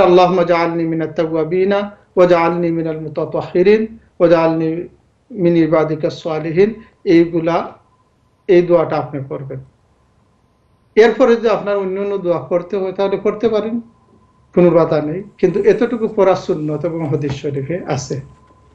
ধন্যবাদ আমরা আমাদের পরবর্তী কলগুলাইতে চলে যাই। জি জাজাকাল্লাহ শেখ সুন্দর করে বুঝিয়ে দেওয়ার জন্য। প্রিয় ভাই বোনেরা আশা করি আপনারা আপনাদের প্রশ্নের উত্তর পেয়েছেন। যে আমরা চলে যাচ্ছে আমাদের পরবর্তী কলারদের কাছে। দেখি যারা অনেকক্ষণ ধরে লাইন ওয়েট করছেন। যে কলার আসসালামু আলাইকুম রহমতুল্লাহ সালামু আলাইকুম রহমতুল্লাহ বারাকাতু ভাই কেমন আছেন? আলহামদুলিল্লাহ ভাই ভালো আছেন আপনি? আসি আমার হুজুরের কাছে আমার সালাম হুজুরও সুস্থ আসলাম জানি। সুস্থ হয়ে আল্লাহ আনছেন আমি তাকে দোয়া করি। ইয়ে, আর আমি অনুষ্ঠান দেখলাম আপনারা বুঝছেন দেখি দেখি আমার কয়েকটা জিনিস যেটা আমার নামাজের মধ্যে করছি আর কি ওগুলা সম্বন্ধে জানতাম স্যার আমাকে আমি। প্রথম প্রশ্ন হইল যে আমি ওটা ঠিক হইব না আমার যেমন ধরেন নামাজে যখন আমি ইন্দিয়া জাহাতুর আগে যখন যা নামাজে খাড়া হই তখন আমি বিসমিল্লাহ রহমান রহিম বলে শুরু করি। কিন্তু যখন সানা পড়ার পরে আর আলহামদুলিল্লাহ সূরা পড়ার আগে কোনো আউজুল্লাহ বিসমিল্লাহ কই বলি না আর কি। এটা কি হবে আমার? এইটা। আর আরেকটা প্রশ্ন হইল আমার যেমন ধরেন যদি আপনার ইচ্ছাকৃতভাবে জোহর যদি খাজা হয়ে যায় তখন শেষ মুহূর্তে আসরের আগে কীভাবে করতে হয় বা আসরের পরে কি কি ফোর্সা টাকাত পড়লেই হয় এটাকে জানার জন্য। আর তৃতীয়ত হইল আমার হাসি উঠে এখন নিজেও মানে মানে দোষী আল্লাহর কাছে। আমরা তখন লকডাউন চলে আমি বাসায় আহ, কোনো কাজ নাই। তো আমি হাফ শার্ট পরে গরমের জন্য হাফ শার্ট পরে আমি নামাজ পড়ি সব সময় আর টুপি না দিলে কি হয় হয়? এটা কি জানার জন্য আর কি তো আমি উপকৃত হইব আমার হুজুরে যদি আমার প্রশ্ন উত্তরগুলো আগেই নাকি। ওকে জাজাকাল্লাহ ভাই এবার- ভাই আপনাকে ধন্যবাদ যে আপনি নিয়মিত আমাদের অনুষ্ঠান দেখার জন্য যে ইনশাল্লাহ আপনি আমাদের এই অনুষ্ঠান কন্টিনিউ করবেন আর আমাদের জন্য দোয়া করবেন। যে আমরা চলে যাচ্ছি আমাদের পরবর্তী কলারের কাছে। কলার আসসালামু আলাইকুম রহমতুল্লাহ। কলার কি শুনতে পাচ্ছেন? হ্যালো জি আসসালামু আলাইকুম। বোন আপনার প্রশ্নটা করুন প্লিজ হ্যাঁ ওয়ালাইকুম আসসালাম। জি ভাই আমার দুইটা কোশ্চেন একটা হলো ওই যদি কেউ কাশি হাসি কাশির সঙ্গে তার যদি হয়তো অনেক সময় পেশাব পড়ে তো এটা যদি তার রোগ হয়ে যায় তাহলে কি তার উজু থাকবে? আর আরেকটা আরেকটা হলো আমার প্রশ্নটা ক্লিয়ার হয় না। নামাজের মাঝে কখন কত- কয়টা পর্যন্ত আসরের নামাজ পড়া যাবে কতক্ষণ পর্যন্ত? আর আসরের নামাজ একেবারে শেষে পড়া যাবে কিনা মানে দেখা গেল পাঁচ মিনিট আছে মাগরিবের এরকম সময়। জি শেখ বোন প্রথম প্রশ্নটা করেছেন। জি জি জাজাকাল্লাহ বোন জি আপনি রাখুন আমরা আপনার শেখ আপনার প্রশ্ন উত্তর দিবেন ইনশাল্লাহ শেখ বোন প্রশ্ন প্রথম যে প্রশ্নটা করছেন যে অনেক সময় হাঁচি কাছির সাথে আপনার যদি প্রস্রাব চলে আসে এবং এটা যদি রোগ হয়ে যায় তার করণীয় কি জি। যে আমরা চলে যাচ্ছি আমাদের পরবর্তী কলারের কাছে। কলার আসসালামু আলাইকুম রহমতুল্লাহ। কলার কি শুনতে পাচ্ছেন? হ্যালো। জি আসসালামু আলাইকুম। আসসালামু আলাইকুম। ওয়ালাইকুম আসসালাম রহমতুল্লাহ। আমার একটা প্রশ্ন আহ, শেষ হয়ে গেছে। আমি আজ থেকে পনেরো বছর আগে একজন লোকে আমার কাছে পাঁচশোটা বাউল পয়সা নিয়েছিল। খরচা। যে সময় আমার পয়সাটা নিচে রাখি। আরে? জি শুনতে পাচ্ছি। বলেন ভাই আপনি। আপনি কন্টিনিউ করেন আমরা শুনছি। আচ্ছা পনেরো বছর আগে একজন লোকে আমার কাছে পাঁচশোটা বাউল খরচা নিয়েছিল। জি। তো যে সময় আমার পয়সাটা নিচে রাখি এই সময় আমি পেনশনও এই সময় আমি পেনশন হয় মাত্র বত্রিশ পাউন্ড আচ্ছা এখন আমার পয়সা নেওয়ার পরে পয়সাটা নিচে সে তার দুইটা বাচ্চা দেশ থেকে আনতো ইকানো ব্যাংক ব্যালেন্স দেখাইবার লাগিয়া। আচ্ছা। ওর ব্যাংক ব্যালেন্স দেখাইবার লাগে আমার কাছে পয়সা নিচে নিয়ে, আপনার তার দুইটা বাচ্চাও আইসি দেশো আবার পরে হঠাৎ করে একদিন রাত্রে সে বাগি বাগিয়ে গেছেন তাই। বাগিয়া বাগিয়া যাওয়ার পরে আমার একশো বাউন একটা চেক দিছে বাকি চারশোটা বাউন আজ পর্যন্ত আমার দেয় নাই। এই যে লোকটা যে হলো এখন আমি তো তারে পাইও না আর সে আমার পয়সা দিতেছে না। আমি যখন তাই তো মাভও করতাম পারি না এরকম এবার সে যে আমাকে তো পয়সা নিয়ে যে বাগলো এবার তার কি অবস্থা হইব? ওই জিনিসটা আমাকে বলবেন। ওকে আপনি বা তাই জানুননি এখন দুনিয়াতে আসুন করি সালাম আলাইকুম। না যে- যে ভাইকে আপনি লাইনে আছেন? ওকে আচ্ছা জি আমরা ভাই শেষ করে ফেলেছেন জি। আমরা চলে যাচ্ছি আমাদের পরবর্তী কলারের কাছে। কলার আসসালামু আলাইকুম রহমতুল্লাহ। ওয়ালাইকুম সালাম। সালাম আলাইকুম। ভাই আমার একটা প্রশ্ন। জি ভাই প্রশ্নটা করুন প্লিজ না প্রশ্ন হইল যে ওই যে মানুষের যে কোরআনে হাবিজ বানায় কেউ পাঁচশো টাকা লয় কেউ সাড়ে চারশো টাকা লয়।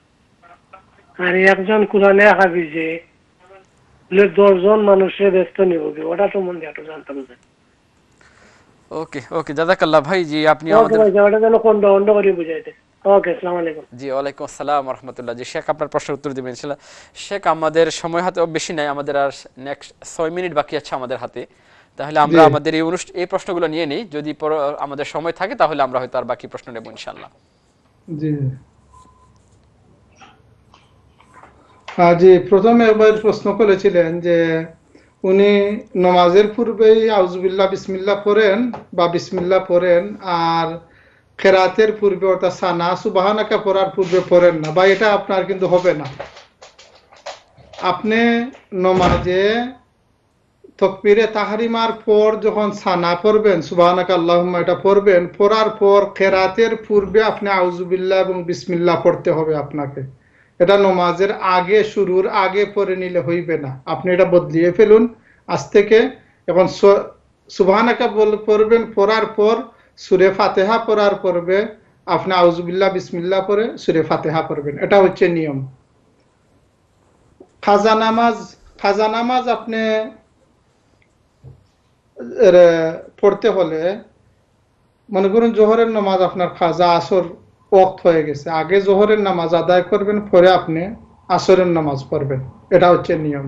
আগে কাজা আদায় করবেন, বাদে আপনার ওয়াক্তের নামাজ আদায় করবেন। হ্যাঁ অ্যাক্সিডেন্টলি যদি ভুলে করে ফেলেন, তাহলে অসুবিধা নেই। অথবা যদি এমন অবস্থা হয় যে আগের ওয়াক্ত খাজা বাদের অক্ত এমন মানুষের কোনো সময় সফরের কারণে বা ব্যস্ততার কারণে হতে পারে। বাদের অক্তেরও এমন সময় এসে গিয়েছে যে যদি আপনি আগের অক্ত পড়েন তাহলে এই অক্তটাও খাজা হয়ে যাবে। এ অবস্থায় আপনি আপনার প্রথমে অক্তের নমাজ আর বাদে খাজা পড়তে পারেন। যাই হোক। যে ভাই প্রশ্ন করে যে গরমের জন্য হাফ শার্ট পরেন বা টুপি পরা লাগবে কিনা? দেখেন ভাই, আমাদের ইসলামী শরীয়ত অত্যন্ত সহজ বিষয়। কিন্তু এখতেরামটা আমরা ত্যাগ করা উচিত নয়। যদি একজন মানুষ নাবি থেকে নিয়ে হাঁটুর, হাঁটু পর্যন্ত গুড়া থাকে, তার নামাজ হয়ে যায়। এটা অতটুকু ডেকে রাখা ফরজ। কিন্তু এরপরেও আমরা, দেখেন, সবসময় আপনি, আমরা সবাই একটি জিনিস খেয়াল রাখা উচিত। আল্লাহ তালা আমাদের শরীয়তকে প্রত্যেক বন্দাদের তার যোগ্যতা অনুযায়ী আল্লাহ তালা হুকুম দিয়েছেন। বখারি শরীফের একটি হাদিস আমি বলি, জাবির রাদি আল্লাহ আনহু একদিন, আল্লাহ রসুলের দুনিয়া থেকে যাওয়ার বহুত পরে একদিন তিনি এক কাফর দিয়ে নামাজ পড়তেছেন। তখন সেই জমানার একজন মুসলমান সাহাবিদেরকে যারা দেখেছেন, তারা হচ্ছে তিনি বললেন তখন তো মুসলমানেরা মোটামুটি দোনি আলহামদুলিল্লাহ, বহুত আল্লাহ তাআলা দিয়েছিলেন। তখন তিনি বললেন যে আপনি এক কাপড়ে নামাজ করে পড়লেন কাপড় তো আরও গড়ে আছে। তখন জাবির রাদি আল্লাহ তাআলা আনহু বলেন, লিয়ারাল আহমাকা মিথলাকা বলে, তোমাদের জন্য, তোমাদের মতো কম বুঝ যারা তাদেরকে বুঝানোর জন্য যে, আইয়ুনা কানা লাহু সাউবাইনে ফি আহদি রাসূলিল্লাহ সাল্লাম। আমাদের আল্লাহ রসুলের জমানা এত গরিব ছিলাম, দুই কাপড় কজন মানুষের ছিল। সুবহানাল্লাহ। দুই কাপড় কজন মানুষের ছিল? সেটা দেখানোর জন্য আমি আজকে কাপড়ে নামাজ পড়তেছি।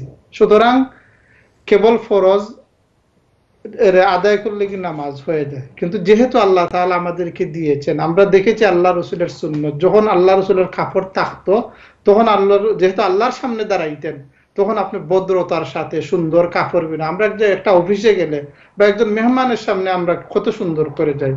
সুতরাং আমরা আল্লাহর সামনে যখন যাইব, তখন সুন্দর করেই যাইব। যে মাথায় যে টুফি দেওয়া টুফি স্পেসিফিক বিষয় নয়, কিন্তু আল্লাহ রসুল যত নামাজ জীবনে পড়েছেন, যে কম পাইবেরে যে খালি মাথায় নামাজ পড়েছেন, এই ধরনের কোন বেশি পাওয়া যায় না। ফাগরি থাকতো, অথবা তকন্য অথবা টুফিতে টুফি তো আমাদের দেশে সহজ। এর জন্য আমরা টুফি দিয়ে মাথা ঘুরে ফিরে কারণ মাথা ঘুরাটাও সব এর শ্রেণির ভদ্রতা। যেমন এই দেশে দেখেন আপনি সবাই মাথা উলঙ্গ করে, নারী পুরুষ সবাই ঘুরে। কিন্তু যখন মর্যাদার আসনে বসে, ডিগ্রি যখন পাশ করে, তখন গ্রাজুয়েশনের সময় মাথা ঘুরে দেয়। কারণ এটাই হচ্ছে মানুষের সম্মান, এটাই হচ্ছে মানুষের ইজ্জত, সবাই এটা বুঝে। মানুষ যখন একজন উকিল, তার মহিলা উকিল পুরুষ উকিল যেন তেন কাপড় পিড়ে চলে। যখন সে কোর্টে গিয়ে ল প্র্যাকটিস করে, তখন সার একটা ড্রেস পরে যায়। কাপড়, উলঙ্গ অবস্থায় যায় না, গু- গুড়িয়া যায়, অতিরিক্ত কাপড় বা গাউন একটা তারা ফিনদেন এই জন্য আল্লাহর সামনে যখন আল্লাহ তালা কোরআন শরীফে বলতেছেন খুজু জিনাতাকুম ইনদা কুল্লি মসজিদের আমার বন্দারা তোমরা যখন নমাজে আসো বা মসজিদে আসো, তখন আমি তোমাদেরকে যে সুন্দর সুন্দর কাপড় দিয়েছি এটা কাপড় তো আল্লাহ আমাদেরকে দিয়েছেন। এইগুলা সুন্দর করে আমার সামনে পরিধান করে তোমরা দাঁড়াইও। এটা হচ্ছে ভাই সুন্নত। আর যদি আপনি হাফ শার্ট করে পরে নমাজ হয়ে যাবে ফকি না হলেও নমাজ হয়ে যাবে ইনশাল্লাহ ধন্যবাদ। একমন প্রশ্ন করেছেন যে হাসির সময় ফেসা বাসার অভ্যাস এর হতে পারে মানুষের বেমার। তাহলে বোন, এখানটা তো আপনার বেমার কিন্তু এগু বেকন্ট্রোল হলো অন্য জিনিস, কিন্তু এটা একটা স্পেসিফিক হাসি মানুষের সব সময় না। এক সময় যদি আপনার এই প্রস্রাব এসে যায়, তাহলে ওজু নষ্ট হয়ে যাবে। এবং যদি খাপড়ে লাগে, তাহলে খাপড়টা বা শরীরের যে স্থানে লেগেছে, এটা দৌত করিয়ে আপনার পরিষ্কার হতে হবে, পাক হতে হবে আপনার আসরের নামাজের ওয়াক্ত আরম্ভ শীতের দিনে বাড়তি সময় থাকে, গরমের দিনে লম্বা সময় থাকে। তবে লাস্টের ওয়াক্ত হচ্ছে সূর্য ডুবার তেইশ মিনিট আগ পর্যন্ত অবশ্যই পড়তে হবে আপনাকে। হ্যাঁ কোনো মানুষ যদি এই অবস্থায় হয়, যেমন সফরে আছেন সাবলঙ্গে কোথাও গেছেন বা কোথাও গিয়ে সময় মতো গড়ে অথবা মসজিদে পুষতে পারতেছেন না বা অজুর কোনো ব্যবস্থা পান না। এই ধরনের কাজে যদি দেরি হয়ে যায়, তাহলে সূর্য ডুবা পর্যন্ত এই দিনের আসরের নামাজ উনার জন্য আদায় করা জায়জ আছে। যে এক ভাই নিয়েছিলেন, উনার থেকে পাঁচশো টাকা বা তিনি আদায় করেন নাই। দেখেন অবশ্যই আপনার হক ইনি মেরেছেন। এবং কেয়ামতের দিন যদি আপনি মাফ না দেন, জান্নাতে যাইতে পারবেন না। এবং কেয়ামতের দিন আপনি যত ইচ্ছা নেকি ওনার আমল নামা থেকে আপনি আনতে পারবেন। এখানে আমরা দুইটি বিষয় বলি। একটি হচ্ছে উনি আপনাকে একশত টাকা, একশো পাউন্ড রিটার্ন দিয়েছেন বাকি সাতশো পাউন্ড দেন নাই। তখন আমরা এখনও জানি না যে উনি আপনার নিকট প্রশ্ন ছিল, আপনি ফোন রেখে দিয়েছেন যে উনি এবার জীবিত আছেন কি নাই। উনি যদি জীবিত থাকেন তাহলে তো বা যোগাযোগ থাকে। আমরা এদেশে বিভিন্ন মানুষ দেখেছি যে একজন বিপদে পড়ে আরেকজনের নিকট থেকে টাকা এনেছেন। পরে দেখা যায় যে উনি কোন দেশের মানুষ ছিলেন বা কোথায় গেছেন ইনি জানেনই না। এই ধরনের হয়ে থাকে। আপনি যদি মনে করেন যে উনার মনোমানসিকতা ভালো ছিল এবং উনি টাকা মারার কোনো ইচ্ছা নয়, হয়তো লেট করেছেন, অথবা হয়তো আপনি জানেন না, উনি কিবা মারাও যাইতে পারেন, আল্লাহ আলাম। আর অনেক মানুষ আছে, মারা যাওয়ার সময় আওলাদকে বলে, যেতে পারে না যে আমার এই ঋণ আছে, সেই ঋণ আছে। বিশেষ করে বন্ধু বান্ধবের গোপন ঋণ। এই ধরনের যদি আপনি মনে করেন, তাহলে যদি আপনি উনাকে মাফ করে দেন, তাহলে আল্লাহ আপনাকে মাফ করে দিবেন। আর না হয় উনি আপনার হক মেরেছেন খেয়ামতের দিন। অবশ্যই আল্লাহ তাআলা এর বিনিময়ে আপনাকে যা যা দিবেন ইনশাল্লাহ আরেক ভাই যে প্রশ্ন করেছিলেন যে এই বিষয়টা দেখেন, আমরা আপনি বলেছেন খণ্ড খণ্ড করে বুঝাই, বুঝিয়ে দেওয়ার জন্য। খণ্ড খণ্ড না একত্রিতই বুঝাই, বুঝাইবার কোনো বিষয় নাই ভাইয়া এটা। যে কেউ পাঁচশো টাকায় হাফিজ স্পন্সার নিতেছেন, কেউ সাতশো পাউন্ডে নিতেছেন। এটা আমি আরেক প্রশ্নের উত্তরে অবশ্য বলেছি। আপনি একজন হাফিজকে দিলেন যে এই হাফিজটা মাদ্রাসায় ভর্তি হোক এবং আপনি পাঁচশো পাউন্ড নিয়ে নিলেন যে একা হাফিজ বানাইব। এটাকে গ্রান্টি আছে যে সে হাফিজ হইবে? এটাকে গ্রান্টি আছে হে কি বাঁচবে? এটাকে গ্রান্টি আছে দোষ পড়া মুখস্থ করে একেবারে চলেও যেতে পারে। মানুষের মন, কারণ বাংলাদেশে দেখেন যে শত শত হাফিজি মাদ্রাসা, শত শত ছাত্র ভর্তি হয়। সবাই যদি হাফিজ হয়ে যেত, তা আজকে হাফিজের বাজার হয়ে যেত বাংলাদেশ। কিন্তু এখনও আমরা দেখি তারাবির জন্য হাফিজের শর্ট পড়ে যায়। হাফিজ মিলে না। আলহামদুলিল্লাহ বহুত হাফিজ আছে না। দেখা, এতে বোঝা যায় যে মাদ্রাসাত ভর্তি হয়ে গেলেই যে একজন মানুষ হাফিজ হয়ে যাবে বা আলিম হয়ে যাবে বা স্কুলে ভর্তি হলেই যে সে মাস্টার ডিগ্রি পাস করে, এটা কোনো গ্রান্টি নাই। এই জন্য আপনি এই ধরনের জাজাকাল্লাহ শেখ আমরা একেবারে একেবারে শেষে চলে আসছি। মাগরিবের সময় হয়ে গেছে আর কি আমরা এর আগেও বলেছি এটাই আপনি বুঝে নিবেন তাই ওকে জাজাকাল্লাহ শেখ আর সুন্দর করে বুঝিয়ে দেওয়ার জন্য প্রিয় ভাই বোনেরা, আমরা একেবারে শেষে চলে আসছি এবং মাগরিবের আজানের সময় হয়ে গেছে। আমরা আসলে দেরি না করে আমরা এখানেই শেষ করব ইনশাল্লাহ যারা আমাদের সাথে ছিলেন, প্রশ্ন করেছেন, সবাইকে অনেক মোবারকবাদ এবং আমরা সবাইকে শুভেচ্ছা জানিয়ে আমরা আজকে আমাদের প্রোগ্রাম এখানেই শেষ করছি এবং আগামী সপ্তাহে আবার আমাদের প্রোগ্রাম দেখার অনুরোধ জানিয়ে আমাদের প্রোগ্রাম আজকে এখানেই শেষ করছি। আসসালামু আলাইকুম ওরহমতুল্লাহি ওবরকাতু